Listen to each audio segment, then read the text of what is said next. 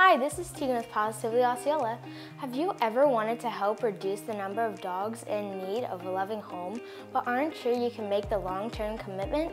Well, Osceola County Animal Services has a great program that you might be interested in. It's their dog fostering program.